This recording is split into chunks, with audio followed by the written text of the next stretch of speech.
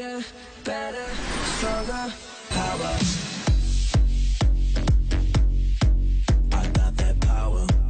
Welcome, Nashville Software School students. This video is going to cover array functions, all different kinds of methods that you can run on an array to achieve some pretty cool results. We're going to start off with some simple ones, and then we're going to move on to more advanced ones that can let you iterate over the array and create new arrays and create new values out of it. Right, so here in my code, I've got an array, variable name of colors, it's an array of strings. Let's look at some pretty simple methods that you can call on this array. First one we're going to cover is reverse. All this does is reverse the order of the items in the array. So when I run this, teal is going to be first, red is going to be last. Let's see. There we go. Pretty straightforward. Reverse the items in the array. Let's sort the items in the array. What sort does is it looks at the first character of each item in the array, only the first character, and will sort that numerically. So R and B and G and yellow and O and T, those all have actual numeric values in what's called the ASCII character set. So it's going to compare all those numbers and then sort them in ascending order. Let's look at the output of this. Okay, there you go. Alphabetical order, ascending order. That's pretty straightforward. The problem is, is when we start doing integers, remember, sort looks at the first character and sorts things based off of that. Let me get rid of this callback function to begin with and show you what happens here. Now, you would expect it to be 5, 8, 10, 19, 20, 30, 100. That's not what's going to happen. Here you go. Okay? You can see the pattern here. It's only looking at the first character. So it's sorted that by only that. So that's why it looks out of order. So you can pass a callback function to sort. And then inside that callback function, you're going to tell it what to do with each item in the array to determine if it's going to swap those values or not. So here I'm just returning second minus first. Okay, so that's going to return a negative value or a positive value. So let's show you what happens here. Turn second minus first. So it's going to basically, the first time through, it's going to be 10 minus 20. What's happening here? I'm sorting actually in descending order. Certain ascending order, first minus second. That'll sort in ascending order. So remember that when you want to sort numbers, use a callback function to determine which way you want it to be sorted perform an actual mathematical calculation. Next thing we're going to cover, join. Take all of the items in an array, join them together into a string. You pass join one argument. It's going to be a string itself, and that's what's going to delimit every item in the array. So what happens when I pass it a comma. There you go. There's all the items in the array with a comma in between. And that could be anything. It could be a comma. Could be a question mark. It could be a word. Doesn't matter. It'll inject that between every single item in your array. So there we go. There's join. Create a string out of an array. Let's talk about slice. And since we're talking about slice, I created a brand new array called fruits. So we're going to slice up these fruits. So this actually does modify the array itself.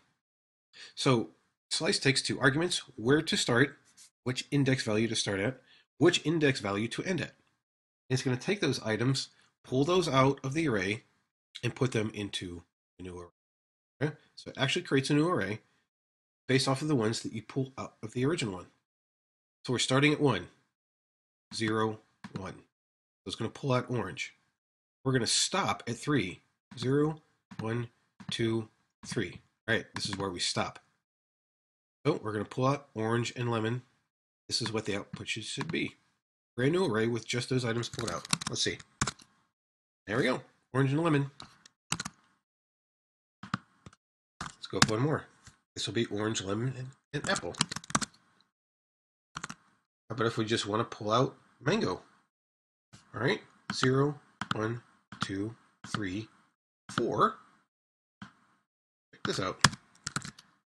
If you just pass in where you want to start, it'll go all the way to the end of the array. And since I actually put in the last item in the array, that's all it's going to pull out. So to show you how that works, I'm actually going to put in orange again, which is index 1. Since I give it no end value, it's going to go all the way to the end. There you go. It out every single item, starting at 1 all the way to the end. All right, so say there's slice. Pull out items from an array, create a new array out of them. This one's fairly straightforward. Let me move move colors down since we're going to continue to use it. Index of does exactly what you think it does. It returns the index of this value in the array. So what is the index, the string of orange? 0, 1, 2, 3, 4. We should see output of 4 now. There we go. That's exactly what we see. All right, so there's index of. Pretty straightforward. So, split. I'm going to duplicate this, this down, because split is kind of the opposite of join. So here I take the colors array, I join it together to a string. Each item is going to be delimited by a comma. And then I'm going to split it back out into an array again and use that comma that I put in the string as the delimiter, saying this is what is breaking apart each item in the array. Okay, it's going to look at that comma, everything between commas, it's going to create a new one, a new item in the array. There we go. There's our new color array out of the string. Okay. So join turns an array into a string, split turns a string back into All right, so those are fairly simplistic, very straightforward methods that you can call on a function. So we're going to get into more advanced ones where you actually use callback methods that you are going to send to the function itself to do what you want to do. So the first is for each, which you can think of pretty much as a straightforward replacement for a standard for loop. Okay, it's going to iterate over the array and then for every item in the array, it's going to pass it into your callback function. So as it's iterating, okay, we're specifying the colors array. So it's going to iterate over it. It's going to take the current value and pass it in. The first time through, this color variable is going to store red. Second time through, it's going to store blue, and then green, and then yellow, then orange, then teal. And all I'm doing inside of this is just console logging it. Okay, so just to show you how that works, there we go. Just console logging it pretty straightforward replacement for a for loop. So here I have examples for how it would have been. Okay, again, a pretty simple for loop in and of itself. Also log the current color you iterate. Okay, so there's for each. Next, we're going to talk about map. Map does something a little bit different. Calling the map method on an array actually creates a new array. Again, it's going to iterate over that array one thing at a time then whatever you return out of callback function that you pass to map, that's what gets put into the new array. So you can modify each item, take that modified value and put it into the new array. Meanwhile, you leave the existing array completely unchanged. So I've got some logic here to, for every single color, for every single string in here, I'm simply reversing it. So here's something new you probably haven't seen before. I'm chaining array methods together. So look what's happening here. I've got my original color, okay? So color is the current item in the array that it's, iterating over. Okay, so this is red the first time through. Remember what split does? So split or a string into an array. I then just say dot. Reverse. So I reverse the items in the array. So now I have an array of D, then E, and then R. And then remember what join does. It turns an array into a string. I'm passing an empty string in there. So there's going to be no delimiter. So when this returns is a string of D, E, R. So I'm just reversing the string every time through. And you can use this not only for split, reverse, and join, but you can use it for these methods that we're going over now for each and map and filter and reduce, which we're going to cover in a bit. You can chain those together as much as you want. And I'll show you a quick example of that. All right, so here's my reverse colors. There you go. Each string is reversed. So I modified the item that's in the original array. returned that value back out, that's what goes in the new array. So that's what map does. Here's its representation in a traditional for loop. Create a new array, split it, reverse, join the current item, push it into that new array. Let's save that just so you see. I'll refresh this. Same values, okay? That's the exact same logic. One I simply put inside of a map function. All right, next is filter. So filter, like map, creates a new array. But what you return out of the filter callback function is not a modified version of the items currently looking at. You're going to return back true or false. If what you return is true, it'll take the current item that you're looking at. So the first time through this loop, again, here's our color. That's going to be a string of red. If I return true out of here, red will get put into the new array. If I return false, it won't. So filter returns true or false. True, current item goes in the new array. False, it does not. So here's my condition. Color.length. So first time through, red. Is its length 4? Nope. That's going to return false. So red does not get put into the new array. Next time through, blue. Blue dot length, is that equal to 4? Yes. Now it'll return true. That means the string of blue gets put into the new array. So let me show you how this ends up. There we go. Only strings with values of, or length values of 4 get put into the new array. Okay. So that's what the filter method does. Here's its equivalent in a traditional for loop. Same thing. Create a new array. Run a condition on each item in the array. If it passes that condition, push that item to the array. same logic. All right, last but not least is the reduce method. So the reduce method is going to take every item in the array and condense it down into one single value. So here I've got an array of integers. I want to find out what the sum of those integers is in an array. This is a perfect use for the reduce method because you're going to condense them all down into one value. So what the reduce method does is it looks at the previous item in the array, looks at the current item in the array, and then it's going to return whatever you want to do to it. So I'm adding them together because I want to find the sum of the values. So let's look at the first time through the reduce array. Okay. So obviously the first time through is going to be on item 51. There is no previous item. Okay. So what it does is it actually looks at 51 and 10 the first time through. Okay. Previous, current. This will be 51. This will be 10. And what am I doing? I'm returning previous plus current. So this function, the first time through, is going to return a value of 61.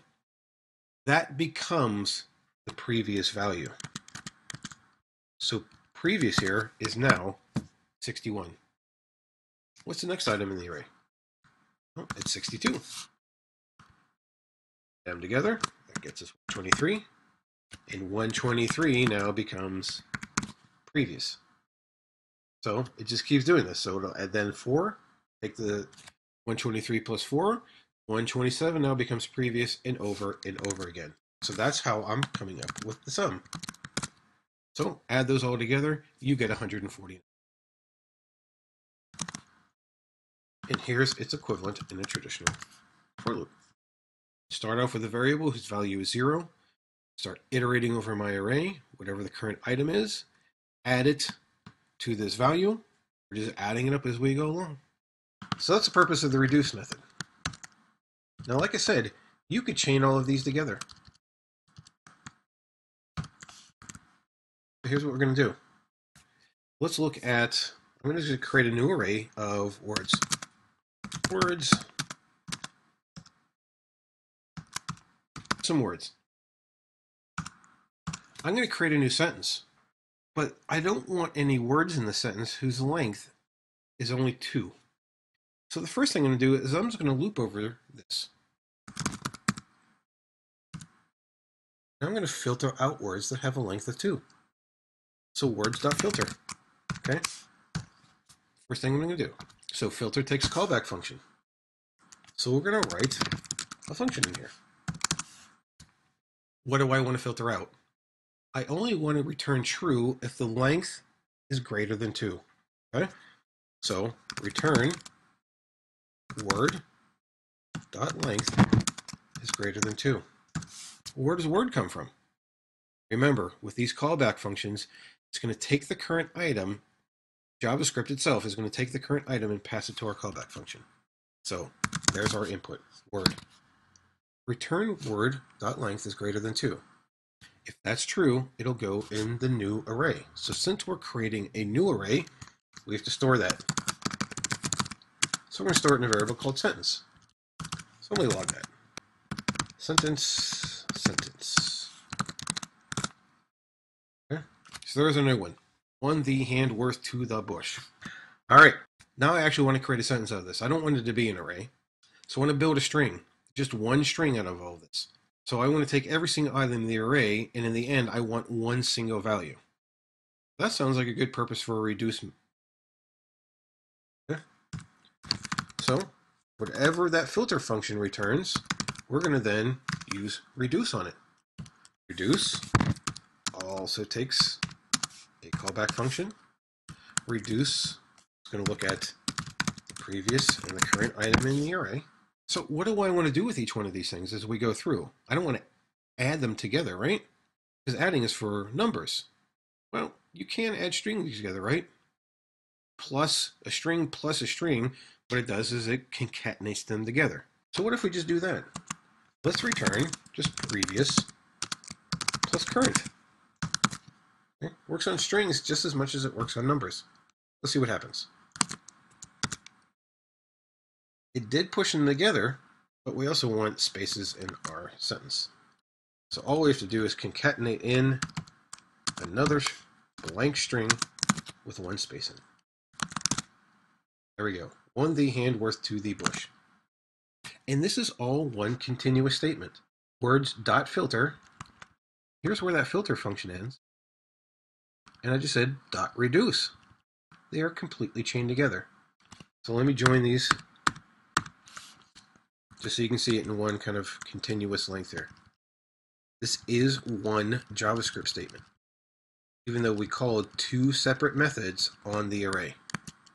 So this is what's called chaining these methods together. So hopefully this is a good overview of array functions, and we will see you in class.